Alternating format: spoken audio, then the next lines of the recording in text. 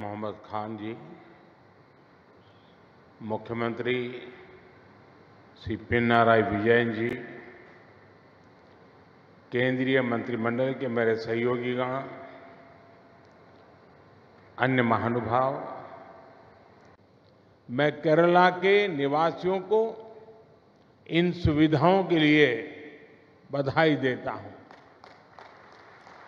साथियों, port shipping और inland waterways के सेक्टर में ईज ऑफ़ डूइंग बिज़नेस बढ़ाने के लिए पिछले 10 वर्षों में केंद्र सरकार द्वारा अनेक रिफॉर्म्स किए गए हैं। इससे पोर्ट्स में अधिक इन्वेस्टमेंट आया है और ज़्यादा एम्प्लॉयमेंट जनरेट हुआ है। इंडियन सीफेयरर्स उससे जुड़े जो नियम थे, उसमें किए गए रिफॉर्म्स की वजह से पिछले 10 साल में इंडियन सीफेयरर्स की संख्या में 140 परसेंट की वृद्धि हुई है। देश के भीतर वॉटर वे के उपयोग से अब पैसेंजर और कार्गो ट्रांसपोर्ट में नई तेज़ी आई है। साथियों, जब सबका प्रयास होता है तो परिणाम और बेहतर मिलते हैं। बीते दस वर्षों में, हमारे पोर्ट्स ने डबल डिजिट एनुअल ग्रोथ हासिल की है। दस वर्ष पहले तक, हमारे पोर्ट्स पर शिप्स को लंबा इंतज़ार करना पड़ता था। उनको अनलोड करने में बहुत टाइम लगता था। अब स्थितियाँ पूरी तरह बदल चुकी है। आज Bharat ship turn around time में दुनिया के कई विकसित देशों से भी आगे निकल चुका है। साथियों, आज दुनिया भी ग्लोबल ट्रेड में भारत की भूमिका समझ रही है।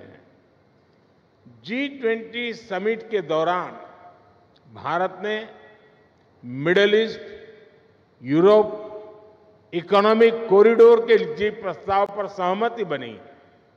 वो इसी भावना का प्रमाण है।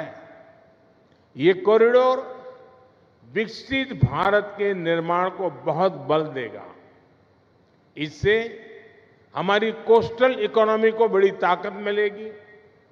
हाल ही में मैरीटाइम अमृतकाल विजन भी लॉन्च किया गया। है विकसित भारत के लिए हम अपनी समुद्री ताकत को कैसे सशक्त करेंगे, इसमें इस लक्ष्य का रोड मैप है। भारत को दुनिया की एक बड़ी मैरीटाइम पावर बनाने के लिए हम मेगा पोर्ट्स शिप बिल्डिंग और शिप प्रिपेयर क्लस्टर जैसे इंफ्रास्ट्रक्चर बनाने पर ज़ोर दे रहे हैं। साथियों, केरला में आज जिन तीन प्रोजेक्ट्स का लोकार्पण हुआ है, उनसे मैरीटाइम सेक्टर में इस क्षेत्र की हिस्सेदारी और बढ़ेगी। नया ड्राई डॉक भारत का नेशनल प्राइड है। इसके बनने से यहाँ बड़े जहाज़, बड़े वेसल तो आ ही सकते हैं। साथ ही यहाँ शिप बिल्डिंग और शिप रिपेयर का काम भी संभव होगा। इससे भारत की विदेशों पर निर्भरता कम होगी और जो पैसा हम विदेश भेजते थे, वो देश में ही लगेगा। इसके साथ यहाँ ship building ship repair sector में नई स्किल्स पैदा होगी। साथियों, आज इंटरनेशनल शिप रिपेयर फैसिलिटी का भी लोकार्पण हुआ है। इस प्रोजेक्ट से कोची भारत का और भारत एशिया का एक बड़ा शिप रिपेयर सेंटर बनने वाला है। हमने देखा है कि आईएनएस विक्रांत के निर्माण के दौरान किस प्रकार अनेक एसएमएस एमएसएमईस को सपोर्ट मिला था। अब जब शिप बिल्डिंग और रिपेयर की इतनी बड़ी फैसिलिटीज़ यहाँ बनी है तो इससे एमएसएमईस का एक नया इकोसिस्टम बनेगा। जो नया एलपीजी इंपोर्ट टर्मिनल बना है, इससे कोची कोयम्बटूर इरोड, सेलम, कालीकट, मदुरई और त्रिची में एलपीजी की जरूरतें पूरी होगी। इससे इन इलाकों में इंडस्ट्री और दूसरी इकोनॉमिक डेवलपमेंट को भी मदद मिलेगी और नए रोज़गार भी बनेंगे। साथियों कोची शिपयार्ड आज आधुनिक और ग्रीन टेक्नोलॉजी से लेस मेड इन इंडिया वेसल्स बनाने में भी अग्रणी है। कोची वाटर मेट्रो के लिए जो इलेक्ट्रिक वेसल्स बनाए गए हैं, वो प्रशंसनीय है।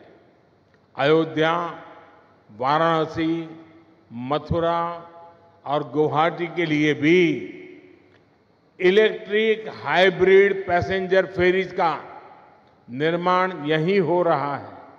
यानी देश के शहरों में आधुनिक और ग्रीन वाटर कनेक्टिविटी में कोची शिपयार्ड की भूमिका अहम है। मुझे बताया गया है कि हाल में आपने नॉर्वे के लिए भी zero emission electric cargo ferries delivery की है। यहाँ हाइड्रोजन फ्यूल पर चलने वाले दुनिया के पहले फीडर कंटेनर वेसल के निर्माण पर भी काम चल रहा है। ये make in India, make for the world के हमारे विजन को सशक्त करता है। भारत को हाइड्रोजन फ्यूल आधारित ट्रांसपोर्ट की तरफ़ ले जाने का जो हमारा मिशन है, उसको कोची शिपयार्ड और सशक्त कर रहा है। मुझे विश्वास है कि बहुत ही जल्द स्वदेशी हाइड्रोजन फ्यूल सेल फेरी भी देश को मिलेगी। साथियों, ब्लू इकोनॉमी पोर्टलेट डेवलपमेंट को और उसके कारण हमारे मछुआरे भाई बहनों की एक बहुत बड़ी भूमिका मैं इसमें देखता हूँ। आज पीएम मत्स्य संपदा योजना से फिशिंग के लिए भी आधुनिक इंफ्रास्ट्रक्चर बनाया जा रहा है। केंद्र सरकार डीप सी फिशिंग के लिए मछुआरों को आधुनिक नाव देने के लिए सब्सिडी दे रही है। किसानों की तरह ही मछुआरों को भी किसान क्रेडिट कार्ड की सुविधा दी गई है। ऐसे प्रयासों की वजह से बीते दस वर्षों में मछली उत्पादन और एक्सपोर्ट दोनों में कई गुना बढ़ोतरी हुई है। आज केंद्र सरकार सी फ़ूड प्रोसेसिंग में भारत की हिस्सेदारी को और बढ़ाने का प्रयास कर रही है। इससे भविष्य में हमारे मछुआरे साथियों की आय भी बहुत बड़ी वृद्धि होगी। उनका जीवन और आसान होगा। केरला का निरंतर तेज विकास हो, इसी कामना के साथ नए प्रोजेक्ट की मैं फिर से एक बार आप सबको बहुत बहुत बधाई देता हूँ। आप सभी को शुभकामनाएं धन्यवाद Make in India, made for the world.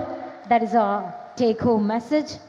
Our sincere gratitude to the Honorable Prime Minister for the invaluable insights. Thank you, sir, for sharing your wisdom and knowledge. The state of Kerala is very much indebted to you. Once again, expressing our heartfelt gratitude and thanks.